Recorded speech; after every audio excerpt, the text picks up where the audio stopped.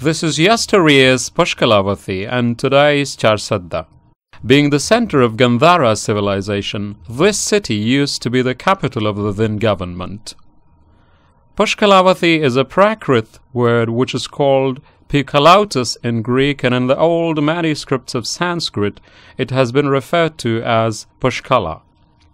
It means the city of lotus flowers. Today's Charsadda was once home to great and outstanding scholars. Panini belonged to a small town in Sawabi called Waruke, Lahore. He is thought to be the first grammarian of the world. The modern day Charsadda was once Panini's Estekas, Herodotus' Kaspateros, and Hiuen Tsang's Pushkalavati.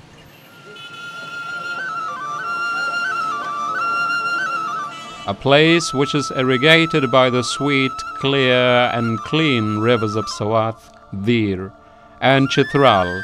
Charsadda is known for its greenery, fertility, and great men it has produced. Chronological books and its passages are witnesses to the caravans and armies passing through these routes. Pushkalavathi, being the seat of knowledge and skill, was an important and distinguished city of the Gandhara civilization. This was the favorite city of the Buddhist prince Siddhartha, commonly known as Buddha. Buddhism spread with its message across India and China from the suburbs of Pushkalavathi. The ancient Gandhara civilization is breathing even today in the form of sculpturing and domes and carvings on tombstones. Afterwards, history had a turn, and Pushkalavathi was linked to Peshawar. But Charsadda is known even today for its fertile land, both in terms of produce and people.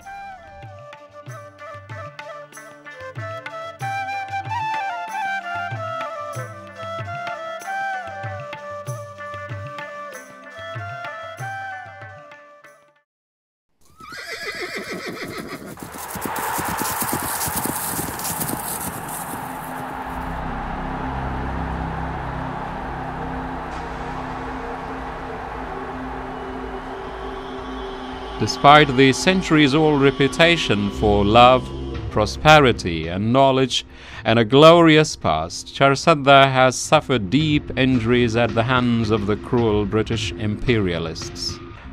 In 1893, this province was annexed to Punjab after it was separated from Afghanistan.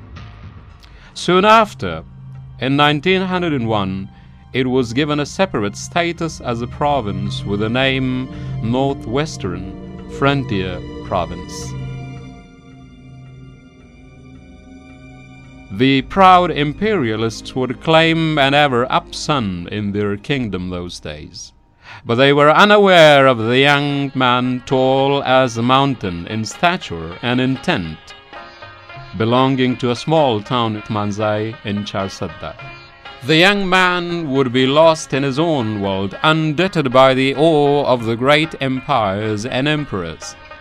This distinguished young man was Khan Abdul Ghaffar Khan, the proud son of Behram Khan of Khwazi belonging to Mohammadzai tribe of Utmanzai.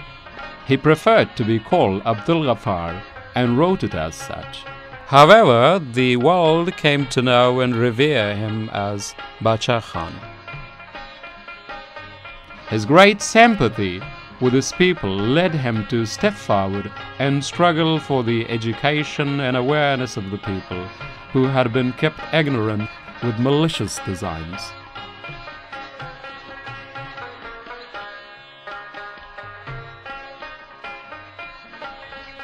Bacha Khan got his guidance from the first words of the first revelation of the Messenger of God.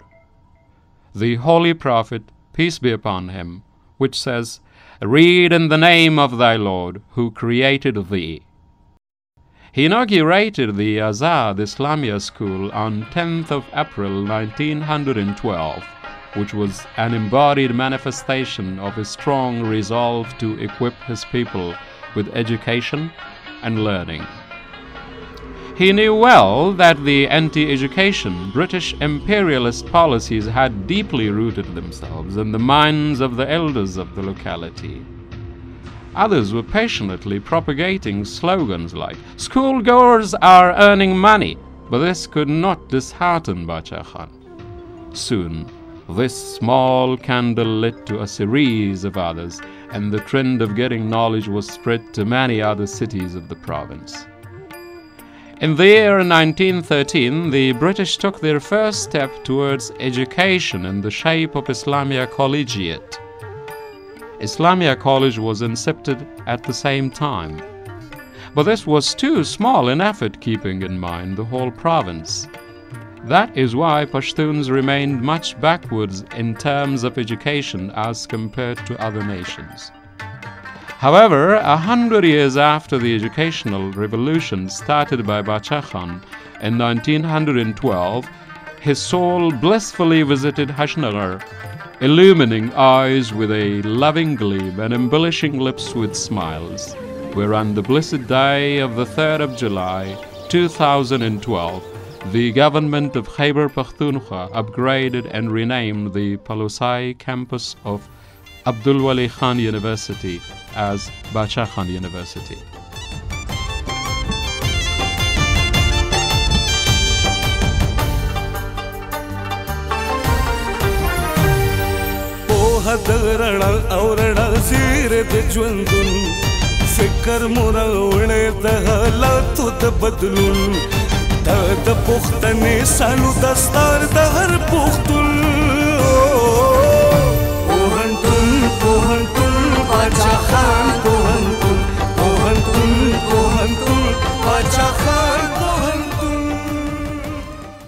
Bacha Khan Pohantun, is actually a dream of the Buddhist monks and the result of the struggle of Bacha Khan and his compatriots and his colleagues, the Khudai Khidmatgars, who struggle for freedom, who struggle for uh, education, who struggle for liberty, who struggle for the transformation of society, uh, of the Pakhtun society of, in this region. This university, which is situated in Charsadda, but with the, with the grace of Almighty Allah, the rays of knowledge will spread from it throughout Central Asia and throughout Southeast Asia. Thousands of students from Khyber Pakhtunkhwa and the adjacent Fata get together in the lap of this great alma mater and get education determined to walk shoulder to shoulder with the modern world.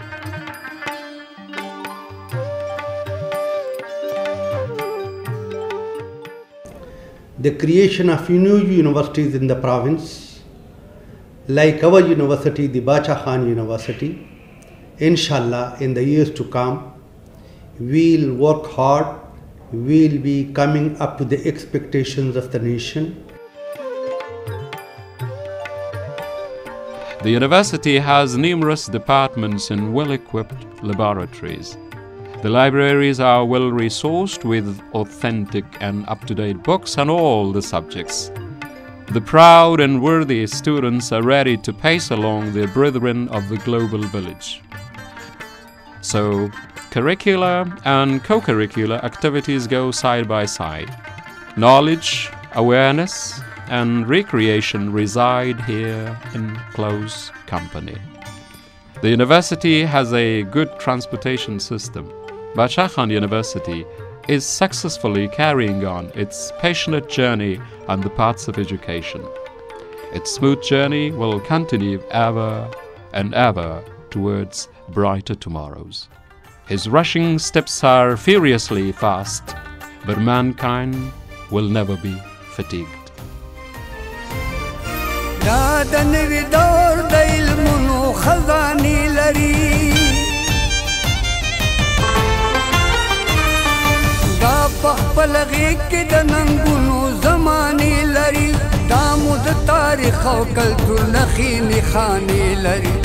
دا مو د تاریخ او کلتور نخي نخاني لري. دا زمونږ د ذهن رڼا دا د زړه سکون. هو پوهنتون پوهنتون باچا خان پوهنتون پوهنتون پوهنتون باچا خان پوهنتون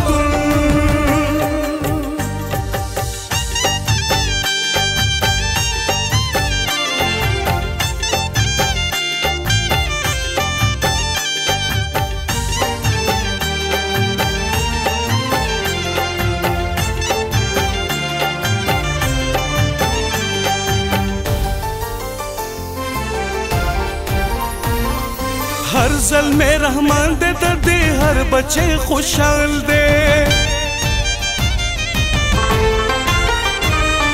دا دا هر پیغنی دا اسمت دا یا شال دے دا زمون دا پارا دا تیارو لارو مشال دے